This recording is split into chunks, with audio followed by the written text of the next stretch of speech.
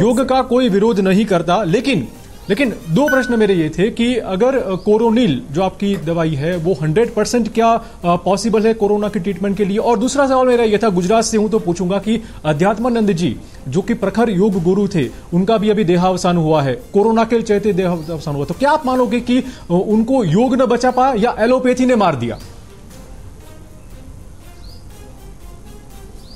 देखो अब मैं कहूँगा कि उनको एलोपैथी ने मार दिया फिर ये मेरे पीछे पड़ जाएँगे। जी। अब इसलिए मैं कहता हूँ देखो स्वामी अध्यात्मानंद जी। मेरे अनन्य मित्र थे उनका जाने का हमको बहुत दुख है।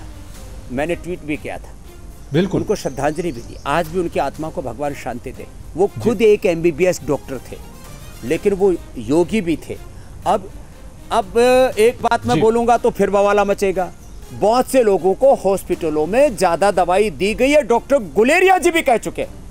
आप डॉक्टर गुलेरिया जी को देखो ये ऐसे व्यक्तित्व हैं जिनको कोई स्वार्थ नहीं है। मेरा तो सवाल यही था हमारे अगर आ- नहीं आप ये मानते हो कि योग उसको उनको बचा नहीं पाया या तो एलोपैथी ने उनको मार दिया। मेरा वो सीधा सवाल हो। जाते हैं। मैं डॉक्टर गुलेरिया जी और देखो मैं डॉक्टर गुलेरिया जी से लेकर के और हमारे हमारे एम्स के यहाँ पर हमारे डॉक्टर हैं रवि जी ऋषिकेश के। मैं जानता हूँ ये लोग कभी भी किसी ड्रग ये माफिया है जो फार्मा माफिया है इस इसके शिकार नहीं होते। हैं बिल्कुल। कुछ लोग हमारे डॉक्टर शिकारी नहीं है शिकार हो जाते हैं ये एमबीबीएस एमडी डॉक्टर बोलते हैं।